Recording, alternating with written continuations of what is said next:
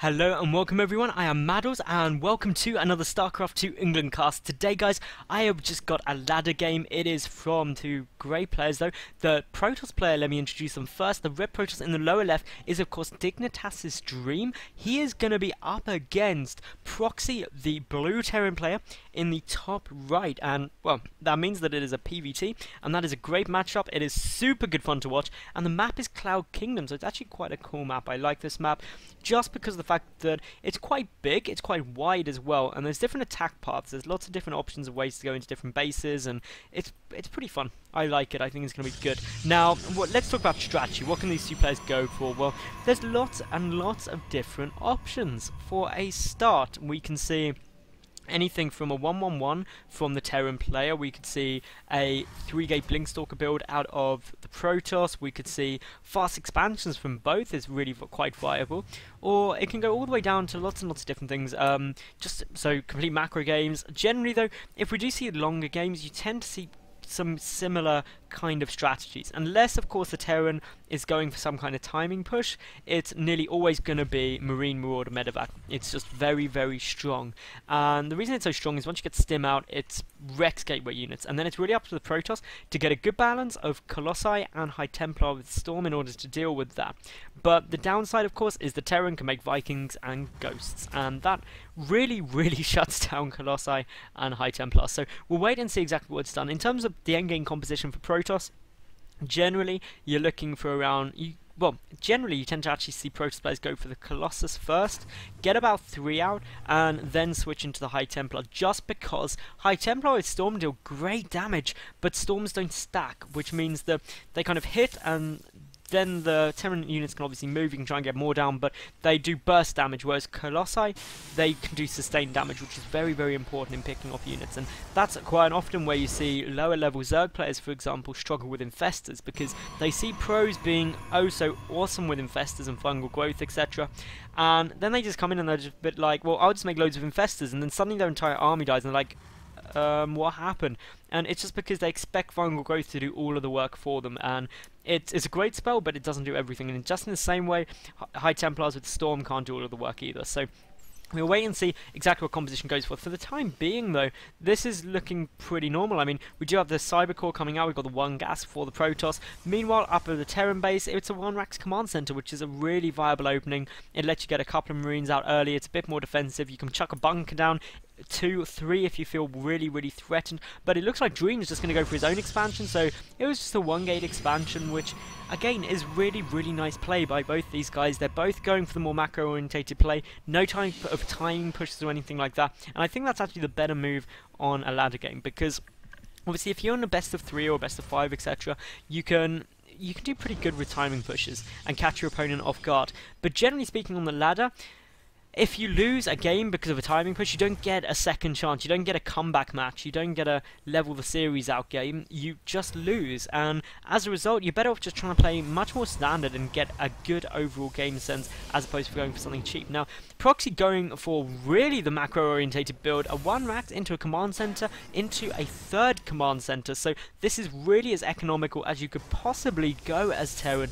Um, the problem is Dream, he's going to be in an okay spot. If he puts on some pressure, he's going to be in an amazing spot because Proxy is going to really struggle to hold. He's got two more barracks following this up. No gas yet at all. So this is a good follow-up. Usually, even if you just go one to command center, Terran players against Protoss usually follow that up with two racks. If you were against Zerg, you'd follow it up with two gas and then usually a factory into a starport. But obviously the Marines great against gateway units, especially when you start chucking down more bunkers. You can then get out two tech labs in order to get things like combat shield, concussive shell, and stim also start the Marauder production. Of course, they're very, very potent against Stalkers, so something you always want to get into your composition. Now, we've got a grand total of two more gateways coming down, as well as the robotics facility. So both players taking up really nicely here, everything going quite where they want. And I'm sorry for that little screen flick. For those of you who watch my channel, you will know that my lovely Mad Catz Rat 9 mouse died at the beginning of last week and while it's gone back and the tech support have been amazing and are just replacing it, no questions asked,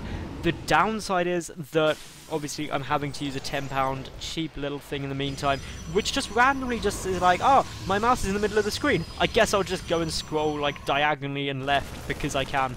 But anyway, we've got this Stalker coming forward and backwards. I should get my new mouse in the next couple of days, by the way, guys, so hope, hoping that it'll be back in time for Insomnia, but we will wait and see. But looking here, obviously that Stalker poking, prodding, we've got really a lot of marines down the stalker doesn't need to be careful if it gets trapped by those marines it could run into some problems the double tech lab uh, well the single tech lab the double reactor on their way down Stim on its way the double engineering base will really upgrade the build out of proxy for the Protoss player, well, the Observer's out. Meanwhile, we've got just the three Warp Gates warping in units, and that's all good. He's got all four gas up, so it looks like it's going to be a really, really tech-heavy play. There goes down the robotics base. They're going straight up to Colossus, and, well, for the Terran, any sign of taking up towards Vikings? The answer is no.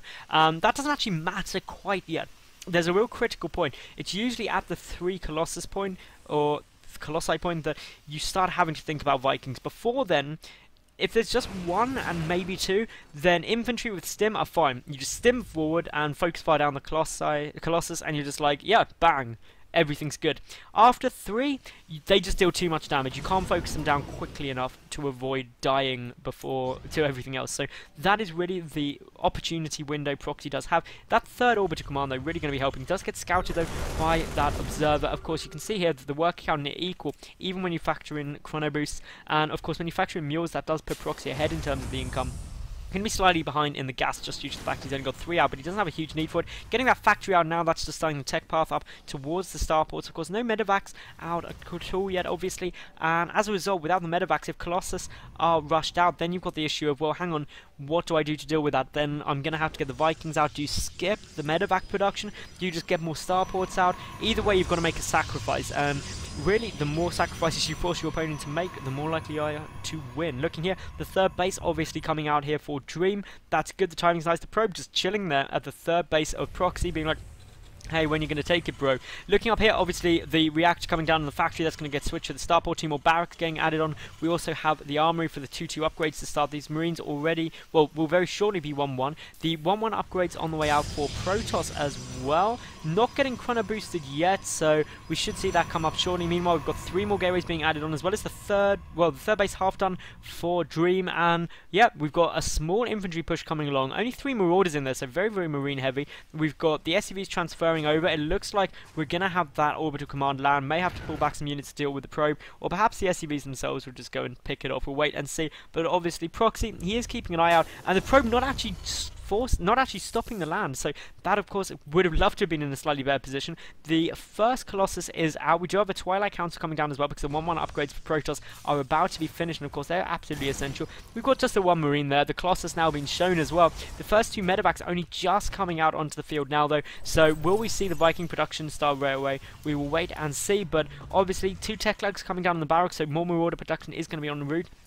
In terms of the teching charge on the way down for Dream, we've got the 2-2 upgrades as well as Combat Shield coming down for the Terran player. And, well, both players being incredibly passive at the moment. I mean, they've both lost, well, a handful of resources, which at over 10 minutes into the game is really quite low. And obviously when we start thinking about, hang on, we're now getting really into the late game. In terms of the Protoss tech, well, Colossus is already out. We're already getting charge up. We're getting the 2-2 upgrades. This is definitely mid to late game.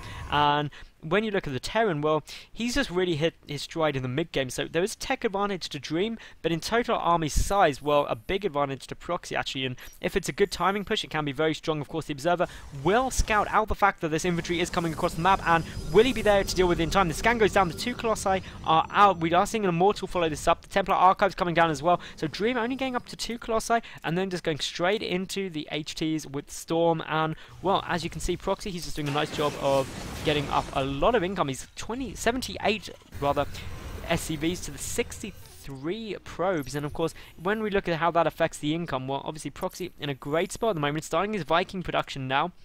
The first two Vikings just on their way out. Still only the one starport though, as far as I can see. Oh no, the second one just completing up there with the reactor on it. So should see four Vikings at a time. But of course the concern for the Terran player is, well, what if he goes for just too many Vikings? And of course, you don't want a huge number of Vikings against only two Colossi. And this is the other important thing about Protoss players taking two High Templar out of Colossi because if you get too many up, the Terran player is just like, hey, I'm going to build lots of Vikings, herp terp, I win.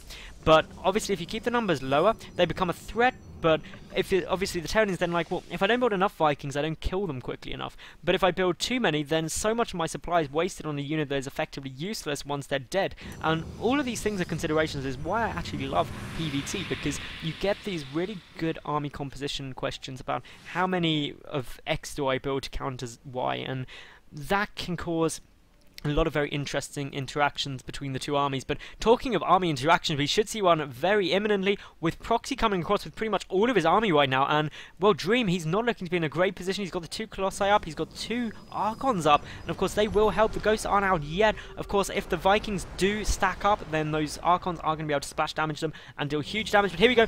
We've got a bit of an engagement coming in. The sentry count exceptionally low. Only three sentries there. The force field is going to be very critical. The sentries all have full energy, though. So they should be able to get okay. But here we go, we've got a bit of engagement coming in. The Vikings do manage to pick up the first Colossus very, very quickly. The second one getting focused down as well. And the Vikings not being stopped at all. Both Colossi go down. And of course now Proxy in an amazing spot. A good 60 supply ahead already. And well, this is becoming a huge huge problem for Dream. As you can see here, the Vikings even land to come and engage into this fight. And, well, as you can see, this is such a one-sided engagement. The Third base for the Protoss player getting taken down exceptionally quickly. And Dream now in full retreat, trying to get back. He's got, uh, well, one Colossus in production, 12 now up to 16 Zealots, the 1 Immortal and the 1 Sentry against 43 Marines, 11 Marauders, 7 Medevacs and 8 Vikings.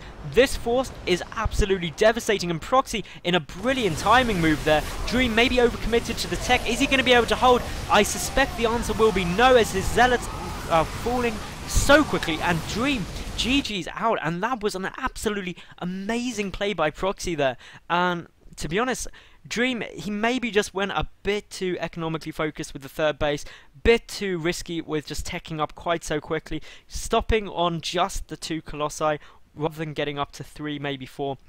But either way, an amazing game to watch, and I hope you guys enjoyed it as much as I did. And well, what would what can you do now? Subscribe because I get new games up daily. Like the video if you enjoyed it. Leave a cool comment.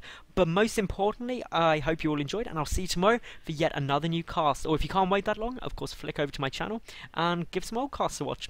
Anyway, thanks for watching, and bye for now.